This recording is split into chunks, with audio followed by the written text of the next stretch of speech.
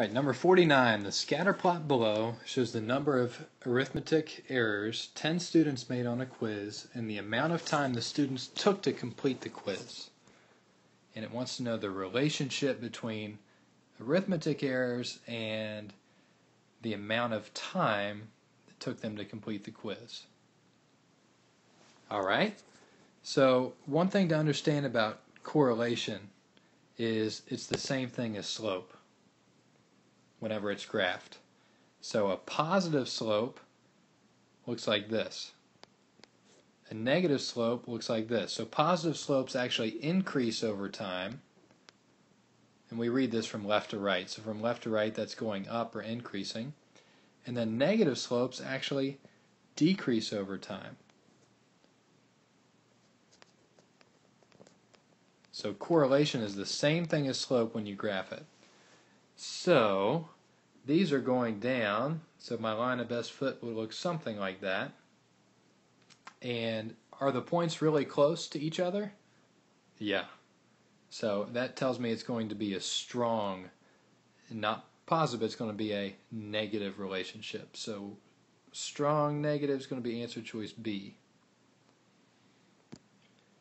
So as one thing goes up, for instance time, as time goes up, or increases, what happens to the errors? They decrease. So that's what a negative relationship means. As one thing goes up, the other goes down. Positive just means they're going in the same way. So if both were going down over time or both were going up over time, that would be positive. But anytime they're going in opposite directions, that's negative. So you would use that relationship when you had a statement. What relationship would this graph be? Well, it is positive. Are the points close together or spread out? Pretty spread out, huh? So we'd probably say weak positive for one like that. Do you know what no correlation looks like? That would be an example of no correlation. There's really no rhyme or reason to how the points are arranged. They're all kind of randomly scattered. So even if we did do a line of best fit, um, it wouldn't really represent that data, would it? All right, on to number 50. An elevator can hold a maximum of 1,500 pounds.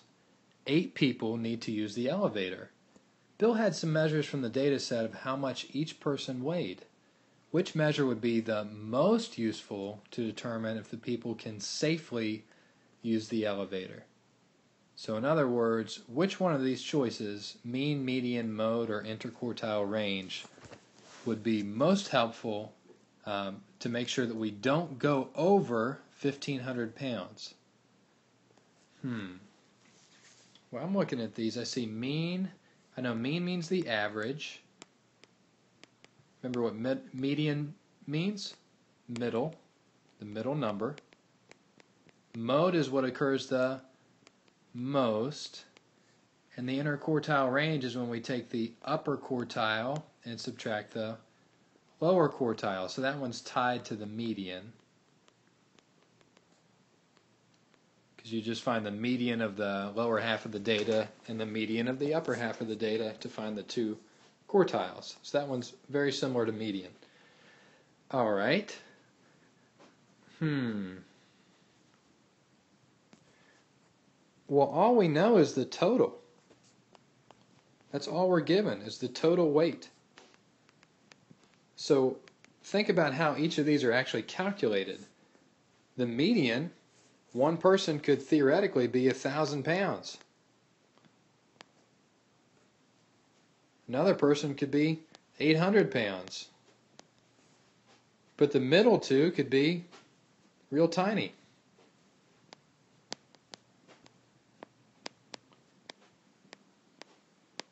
So is the median really helpful in telling us what the total is? No, it just tells us the middle number. So the median doesn't seem very helpful, which means we can eliminate B and D because it's not giving us the total the mode, the number that occurs the most, well, even if we had three people who weighed 60 pounds, what's to say that there couldn't be one one other person there that weighed a thousand pounds and another person who weighed 400 pounds? And now we're already over the limit. So the mode doesn't give any indication as to our total but the mean do you remember how to calculate it? You just take the sum of the numbers. Hmm sum of the numbers that means the total and divide it by how many numbers you have so here it would be divided by 8. Well, that seems like it would be more helpful because if we knew the mean, we could just do 8 times whatever it was, and that would tell us if it's over 1500 or not. So I'm going with A, the mean. And once again, that reason is because the mean uses the total in its calculation. Take the sum of the numbers. And here's a follow up on that. If there were eight of us and our average weight was 160 pounds, would we be safe? How would you find that? That's right, you would just do 160 times 8. And 8 times 160, 1,280 pounds. They are safe. They're under the 1,500 pound maximum. Thanks for watching.